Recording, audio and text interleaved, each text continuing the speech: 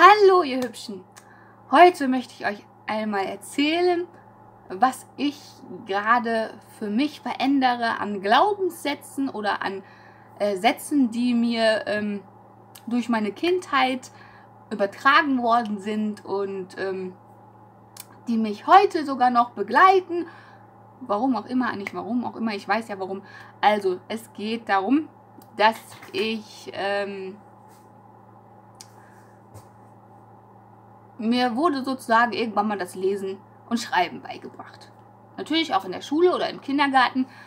Und ähm, mein erstes Buch, was ich gerne gelesen habe, oder besser gesagt auswendig konnte, war dieses schöne Buch.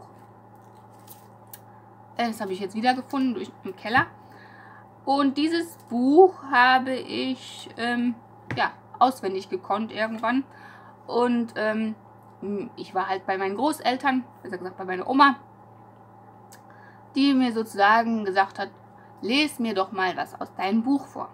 Und dann habe ich das oftmals gemacht, besser gesagt, ich habe immer die Seite, also von den Bildern her habe ich dann halt das, was ich schon auswendig konnte, dann immer so, so vorgelesen, also so getan, wie auch immer, dass ähm, ich dann so gemacht habe. Auf jeden Fall fiel das erstmal lange Zeit nicht auf, dass ich einfach nicht lesen und schreiben konnte. So, außer dieses eine Buch. Irgendwann fiel es dann doch auf und ähm, dann kam dann halt so diese Nachhilfeunterricht oder nicht nur Nachhilfeunterricht, sondern auch diese Idee von, meinen, ähm, von meiner Oma. Les mir doch, Kind, diesen Artikel aus dieser Zeitung vor. Wenn du das dann geschafft hast, mein Kind, dann bekommst du diese Dose mit Pfennige geschenkt. Das ist dann deine Belohnung. Das ist dein Geld. Aber nur, wenn du jetzt diesen Artikel gelesen hast. Hm, ich habe mir ja wenig dabei gedacht, aber irgendwann fand ich das nicht mehr ganz so lustig, weil ich habe ja, ich meine, ich habe diese Sachen natürlich vorgelesen, aber egal welches Wort oder welche Wörter man sozusagen erstmal vorliest. Man muss, also nicht man muss oder man kann und darf sie gerne auch verstehen. Und wenn man sie als Kind das erste Mal liest und weiß nicht, was soll man mit diesem einen oder anderen Wort anfangen, was vielleicht auch gerade mal neu ist, weil man gerade in der ersten oder zweiten Klasse ist oder dritten. Ich denke mal, das war die erste und zweite Klasse. Und ähm, dieses Ganze mit diesen Döschen, also es war jetzt nicht nur noch diese Dose, sondern es gab auch eine Nevea-Dose.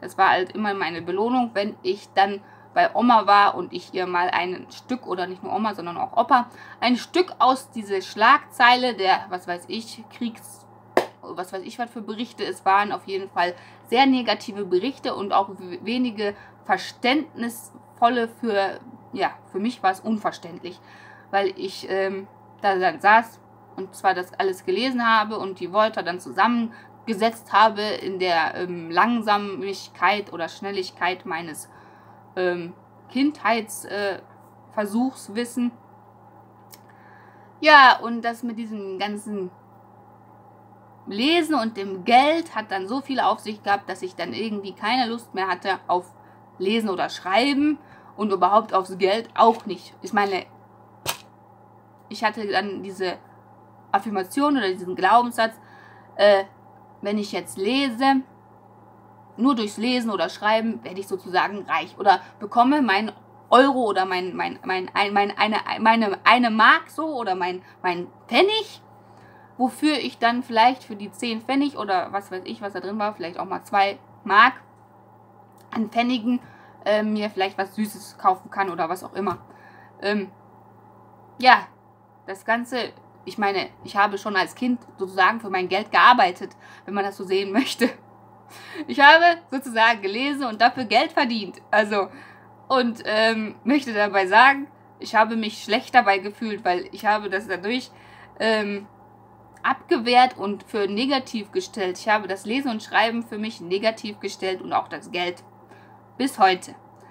Und da ich mich ja weiterentwickelt habe und doch irgendwann angefangen habe, selbst zu lernen und zu lesen und auch zu rechnen, wie man, wie man halt ähm, irgendwie Miete bezahlt oder auch überhaupt was, wenn man in den Laden geht und dann sein Essen kauft, trotz alledem hat dieses ganze ähm, Lesen-Geldsystem in mir so viel ausgebrochen oder eingebracht, dass ich äh, irgendwann ähm, vor irgendeinem Kühlschrank stand, äh, auch wenn der Kühlschrank etwas drin war, und gesagt habe, nee, jetzt brauche ich auch nichts mehr essen, weil ähm, ich habe es ja auch weniger verdient, äh, Geld zu bekommen und das Essen und äh, irgendwas zu lesen und das zu verstehen.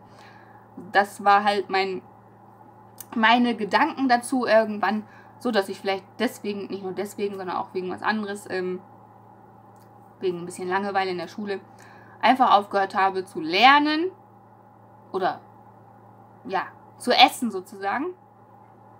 Das ging dann zwei Jahre so. Ähm, hat auch weniger Leute, also ich meine Familienmitglieder, außer meine Tante hat es mitbekommen, dass ich äh, irgendwie nicht mehr, ja, dass ich einfach einen anderen Weg gehe und viele Kilos abgenommen habe. Also ich meine, von Kleidergröße 44 auf Kleidergröße 32 ist schon etwas krass. Ne? So, und jetzt habe ich mir gedacht, nicht gedacht, sondern ich habe mir jetzt vorgenommen, ich habe diese, diese ganze Sache jetzt in Veränderung gebracht und ich meine, es gab noch andere Sätze. Nicht nur andere Sätze, sondern andere Situationen. Nicht, ich meine, meine Oma hat dazu beigetragen, dass ich keine Lust mehr auf Dosenpfennige hatte. Und meine Mutter, die hat, ja, ich danke auch meine Mutter und meine Oma dafür, dass ich so sparsam bin und dass ich dann diesen Glaubenssatz mir noch eingetrichtert habe, irgendwann, der, ich weiß nicht, woher er kommt, aber ich habe dann irgendwann gesagt so mir, sparsam geht die Welt zugrunde. Und dann habe ich mir jetzt gedacht, also in diese jetzige Zeit denke ich mir, sparsam, ich meine von nicht, also von kein Geld, was man nicht mehr auf dem Konto hat oder was man überhaupt nicht in der, in der Hand hat, kann man nicht mehr sparen und auch nicht zugrunde gehen, meiner Meinung. Also das ist so meine Meinung und mein Empfinden dazu, aber das ist halt in mir. Und dieser Satz, der war auch, diesen Satz, den ich euch gerade gesagt habe, dieses sparsam geht die Welt zugrunde, der war vorhin auch gerade nicht mehr ganz da mehr. Hab erstmal dran gedacht, so, welcher Satz war es noch, der mich von mein, meiner, meiner Reichtum an Geld und meinen Dank, Dank an Geldbesitz für, ähm, um Miete zu zahlen, um Versicherung zu zahlen, um mir meinen Kühlschrank mit leckeren Essen zu füllen, das ich vertrage, dass mein Magen, also dass mein Körper aufnehmen möchte, das ver verändern, verarbeiten möchte und daraus ähm, ja, Energie schöpfen möchte. So. Dazu habe ich dann noch dieses Büchlein in der Hand genommen und habe erstmal nach Magersucht geschaut. Ähm, Leute, wirklich Magersucht ist bei mir gerade out, denn äh, der Kühlschrank ist nur leer und das ist einfach nur, es hat einfach nur etwas mit Geld zu tun und einer kleinen Dose, die man als Kind bekommen hat und wo man dann eine, einen Glaubenssatz oder Affirmation oder sonstige Sachen im Kopf getrichtert bekommen hat oder besser gesagt sich selber sogar aufgesagt hat, wie ich das gerade gesagt habe, sparsam geht die Welt zugrunde. Also Anja geht zugrunde, weil sie sparen möchte von etwas, was sie nicht hat, aber ist egal. So habe ich dann mein Problem Magersucht, weil mein Schatzi sagt mir auch schon jetzt, ich sei ja jetzt magersüchtig und ich soll nicht mehr weiter abnehmen, wo ich ja schon 12 Kilo abgenommen habe. Und ich glaube, wenn ich jetzt auf die Waage gehe, seit von gestern bis heute, habe ich bestimmt auch schon ein bisschen was wieder abgenommen, weil, ja, auch wenn ich was im Kühlschrank habe und es gerade wieder oder gerade denke so, ach, ich müsste jetzt noch vier Wochen davon essen, ja, ich müsste das ja sparen, was da noch drin ist. Ja. Ähm, habe ich gestern wirklich nur ein Smoothie getrunken. Ähm, dann irgend so ein Burgernsalat so ein bisschen. Und abends habe ich äh, solche Riegel zwei, drei gegessen. Also die habe ich mir dann noch gegönnt und gekauft beim Bioladen. Und dazu habe ich natürlich etwas Wasser getrunken. Aber nach meiner äh, Devise oder nach meinem Kopf weil ich hatte auf einmal Kopfschmerzen, weil es doch überhaupt viel zu wenig Wasser und zu wenig Nahrung. Das natürlich sehr schade ist, aber naja, so ist es halt. Aber jetzt äh, lese ich euch erstmal vor. Also Problem Magersucht. Wahrscheinlicher Grund. Also das ist ja eher weniger mein Grund, weil, ähm, naja, egal. Weil ich liebe mich natürlich so, wie ich bin. So. Absage an das eigene Leben.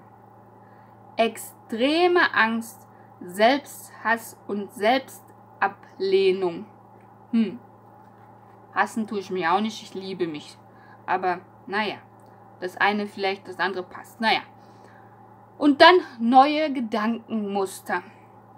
Es ist gut, ich selbst zu sein. Ich bin wunderbar, so wie ich bin. Ich entscheide mich für das Leben. Ich entscheide mich für Freude und Selbstachtung. Ja, und deswegen achte ich ja darauf oder habe jetzt nicht nur gedacht, ich habe mir gesagt, Leute, ich erzähle euch davon. Und ätherische Öle. Ich äh, mache euch einen Link da rein. Diese ätherische Öle habe ich mir von meinem letzten Geld, ich habe mir drei, also einmal, das ist einmal Rosmarin, ja, Orange und Lavendel habe ich mir bestellt und gekauft ähm, von meinen, also zu Weihnachten von meinen letzten Geldern, die und von meinem Wunsch, dass diese, dass diese Öle jetzt endlich mal zu mir kommen und damit ich damit ich damit was machen kann, ja. Und damit ich darin war, ich wollte darin baden. Also mir, ich bade gerne in ätherischen Öle. Und ähm, Rosmarin ist halt auch für kopffrei baden sozusagen. Äh, darin, also du brauchst, man braucht eigentlich nur ein bis zwei Tropfen davon in ein schönes Badewasser, so warm. Du brauchst auch weniger, also ich meine, es gibt auch andere, die baden dann nicht nur in diesem ätherischen Öl, sondern die machen Sahne da rein oder andere ähm, weitere Öle, so wie, das lese ich auch, auch gleich was vor. Ihr könnt es dann machen, wie ihr möchtet. Ich habe es so gemacht, dass ich halt zwei Tropfen, mindestens einen Tropfen, weil das ist ja auch ein sehr wertvolles äh, Öl und auch der Preisklasse ist auch ein bisschen höher. Aber wenn man damit dann arbeitet und was macht, finde ich es sehr wertvoll und ich bin sehr dankbar, dass ich dieses Fläschchen habe, denn ich meine, ich, man kann nicht nur darin baden, Leute, man kann es sich natürlich auf die Hand machen, ne? Und ich habe habe ich vorhin schon gemacht, also es ist äh, schon ich habe so einen Tropfen drauf gemacht und das riecht richtig schön. Ah. Und ich habe mich auch schon ein bisschen beruhigt, das hat schon ein bisschen was losgelöst hier. Ich war nämlich voll äh, ja noch ein bisschen höher mit bei der Energie und habe nur ein bisschen rumgemotzt und habe natürlich auch ein bisschen, ich gebe es zu, mit meiner Oma geschimpft. So ein bisschen und mit meiner Mutter und habe gesagt, naja, okay, alles klar, das ist deren Sache und ich danke ja dafür. Ich meine, ich habe ja auch viel gelernt dadurch. Ich meine, ich habe ja auch, ich meine, ich kann ja jetzt lesen und schreiben, so ein paar Sachen, ne? Also ich meine, wenn ich manche Wörter immer noch nicht ganz äh, lese richtig oder verstehe. Aber ähm, das äh, ist schon mal ein Thema, was ich abgehakt habe. Nicht nur mit diesem Buch, sondern mit anderen Büchern auch, aber das ist immer noch mein kleines Lieblingsbuch, ich gebe es zu. Ähm, das andere Thema ist halt dieses mit dem Geld, Leute. Und ich meine, ich lebe in Überfluss. Guck, was ich alles in meiner Wohnung habe. Ich habe mir alles, was ich da habe, selbst irgendwie, also es ist immer gekommen, irgendwie ge entweder gewünscht, geschenkt oder ähm, auch selbst gekauft und erspart mit allen also Mitteln, was äh, mir da war. Und äh, im Übrigen, das, was da jetzt drin sind, keine Centstücke äh, oder Pfennige. Es ist aber auch wirklich, das ist die Dose von meiner Oma. Das ist wirklich eine Dose von meiner Oma. Da sind Edelsteine drin. So, ja. So, meine Lieblingssteinchen. So, die schon auch als Kind. Also ich meine, ich bin mit Edelsteinen auch aufgewachsen. Das ist so schön. Ne? Das ist so viel dazu. Und jetzt bin ich einfach dabei, mit diesem lieben ätherischen Öl, diesen Glaubenssatz oder diese Glaubenssätze, spar äh, diese Glaubenssätze mit diesem Geld, ja, äh, sparsam geht die Welt zugrunde und so weiter, das äh, weiterhin, ähm, ja, im Positiven zu verändern oder aufzulösen. Und es äh, macht mir schon gerade Freude. Ich meine, ich äh, koche mir gleich was Leckeres zu essen. Ich gebe es zu und das esse ich dann auch heute. Das wird dann mein erstes Essen heute sein. ich habe noch nicht mal gefrühstückt, nur ein bisschen Wasser getrunken und ja, ich habe auch keinen Hunger mehr, Leute. Aber ich meine, wenn man dann vorm Kühlschrank steht und sagt, ach, ich könnte es ja noch sparen bis die nächsten Woche, Wochen, ähm, ist ein bisschen falsch, ich gebe es zu. Aber äh, aus Fehlern lernt man ja auch. Ich meine, man Und eigentlich lebe ich ja jetzt im Hier und Jetzt. So, was morgen ist, ja, da kommt halt was Neues. Irgendwann finde ich vielleicht auch noch ein bisschen Gemüse im Garten. Oder ich nehme halt mir. Ja, ich meine, ein bisschen, äh, wie heißt es denn nochmal? Löwenzahn kann man ja auch gut essen. Aber ich meine, die Zeit ist jetzt noch nicht so ganz reif. Ich meine, es ist noch nicht so richtig frühlinghaft. Und ich meine, ich denke jetzt in dieser Zeit schmeckt das, äh, dieser Löwenzahn, wenn er jetzt wirklich wachsen würde, etwas komisch oder so. Keine Ahnung. Ich habe es ja noch nicht so. Ich meine, ich habe es schon probiert, ich habe es auch schon gegessen. Aber ich meine, um diese Jahreszeit habe ich es noch nicht probiert und gegessen. So. so viel dazu. Und jetzt komme ich dazu. Komme ich, komm ich dazu, ja, zu diesem einen Buch wo, wo es ein schön, ist es wirklich, ich finde es ein schönes Buch. Ich habe es auch übrigens jetzt angefangen, also ich bin jetzt, ähm, ich habe es angefangen, nicht angefangen zu lesen, sondern ich lese es noch. Ich bin noch nicht ganz fertig, aber Leute, ich habe es bis dahin geschafft. Und ähm, meiner Meinung nach habe ich diesmal keine ähm, zwei oder vier Jahre gebraucht, um ein Buch zu lesen, aber naja. Jetzt habe ich die Seite verschlagen. Das tut mir leid. Ich wollte euch ja eigentlich was vom Rosmarin und Kopfbad, also von diesen ach, vorlesen. Ja, ich werde es wieder finden. Ich hab's, hab's vorhin gehabt. So. La la la la la la la. es war irgendwo. Na, na, na. Hier. Was hat sie geschrieben? Also hier, Michaela Merck. So. Kopffreibad. so, wenn man das so. Kopffreibad. Also, wenn ich das so lese, ich meine, ihr könnt auch ähm, ins Freibad springen und mit dem Kopf zuerst. So in der Art. Also, sie hat dann in ihrem Bad auch zwei Tropfen Rosmarinöl, drei Tropfen Pfefferminzöl und fünf Tropfen Melisseöl, ja. So. Das kann man auch machen, wenn man jetzt noch mehrere Öle da hat, ne? Aber ich habe drei Öle da und dieses finde ich halt ganz toll. Und ähm, dann noch steht da 20 Milliliter Sahne. Ähm, ich habe ja auch gesagt, so für mich, also ich bin ja jetzt vegan und möchte ja nicht in Sahne baden eigentlich.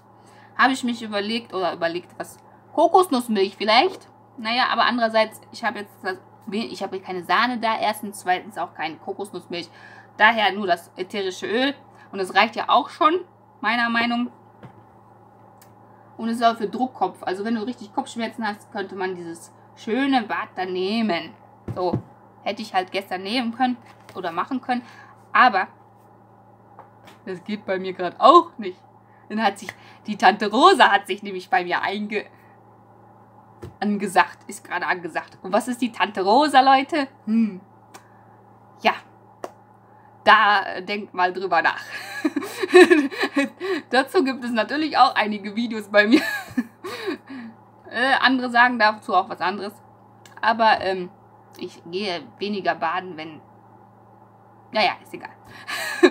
so viel dazu. Ich bin jetzt halt fleißig dabei, meine, meinen Glaubenssatz oder Glaubenssätze mit Rosmarin und Rosmarinbädern und ähm, diese neuen oder diese neuen Sätze, die ich mir sozusagen durch dieses Büchlein nee, gebe, ups, zu verändern. Also, ja, ich freue mich schon drauf, dass es einfach irgendwie demnächst klappt und ich das. Und dann kommt der Geldregen. Warte mal, Geld weiß ich nicht, also Regen ist das. Regen. Regen, Regen aber wirklicher Regen. Also ich meine, re regnet drau draußen tut es auch regnen, aber ist egal. ist, ähm, weil ich immer an meinen Geldregen glaube. Also ich meine, ich habe gearbeitet in den letzten Jahren und jedes Mal, wenn ich dann wieder so da stand und der Kühlschrank war leer und ich mal vielleicht meine Chefin oder sonst wen getroffen habe, dann sage ich, habe ich schon mal gesagt, ich warte auf meinen Geldregen, der kommt in ein paar Tagen. und ähm, ja, das hat dann auch immer in der ersten Woche des Monats gereicht. Ich gebe zu, irgendwie reichte das Geld, dieser Geldregen weniger immer bis zum Ende des Monats. Aber ich habe es ja überlebt. Also ich, oder überlebe es immer noch. Ähm, Also und es ist jeder, jeden ähm, selbst zu überlassen, wie er damit umgeht, mit ähm, Reichtum an Geld oder auch mit diesen Sachen, was ich euch jetzt gerade alles erzählt habe, was so ähm, sich so ein bisschen zieht von, von der Kindheit bis jetzt, so äh, wie so ein kleiner Kaugummi. Und ähm, ich kann auch noch sagen, ich habe mit diesen, ähm, mit dieser, ist ja kein Problem, ne? Also mit diesen ganzen Glaubenssätzen und diesen ähm, negativen Geldstimmungen schon äh, in den letzten Jahren viel gearbeitet mit Familienstellen und Psychokinesiologie. Ähm, ich habe dann immer gedacht, ja, jetzt ist es wunderbar, jetzt hat es funktioniert, jetzt, jetzt, ähm, jetzt äh, brauche ich mir keine Sorgen mehr machen. Oder ähm, jetzt geht es aufwärts, auch mit den, ja, mit den Ersparnissen oder wie auch immer. Aber irgendwie, naja, es hat sich halt, also ich sag ja, es zieht sich gerade irgendwie noch mit so wie so ein Kaugummi, so ein kleines, so, dass man so zurückfletscht und sagt, ja, jetzt hast du schon wieder ein paar Kilos abgenommen oder ähm, mal auf dein Konto, es sieht genauso aus wie vorher und äh, du könntest jetzt den Kühlschrank auch weniger füllen als vorher.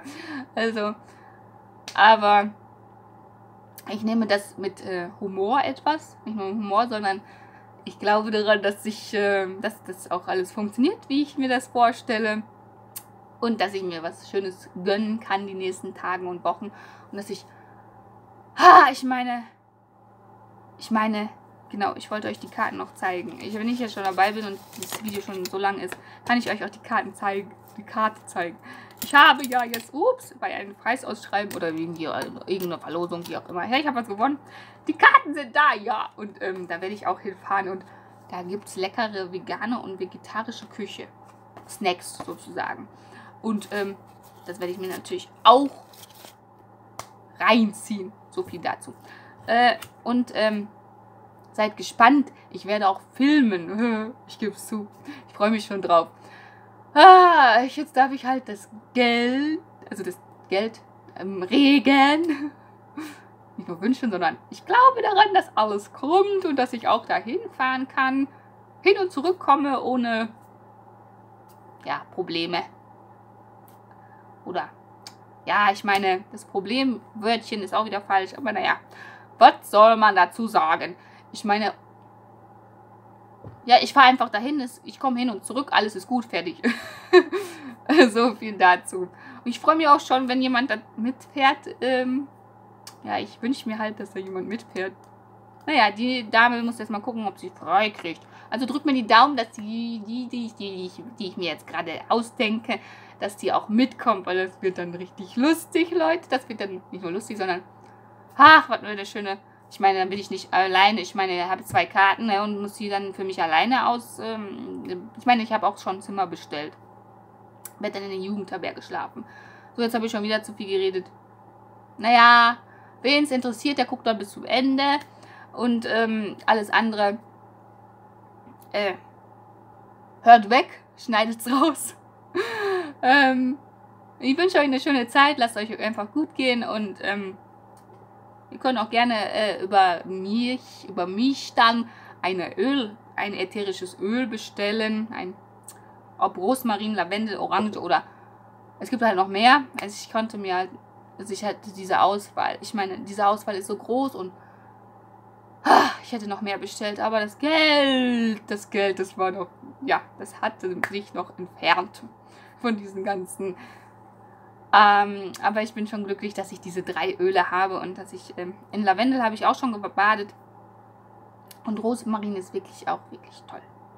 Da kannst du auch ähm, noch viel mehr mitmachen, außer drin baden, aber ich empfehle, äh, oder empfehle nicht nur, sondern es ist meine, meine Empfehlung und mein Empfinden, dass es einfach schön ist, in ätherischen Ölen zu baden oder überhaupt in Ölen und in ja so schöne Bäder die einen, ja, Entspannung bringen und so. Oh, ich träume gerade von meinem Bad. so. Ähm, so viel dazu. Ich danke euch fürs Zuschauen und bis zum nächsten Mal. Ciao.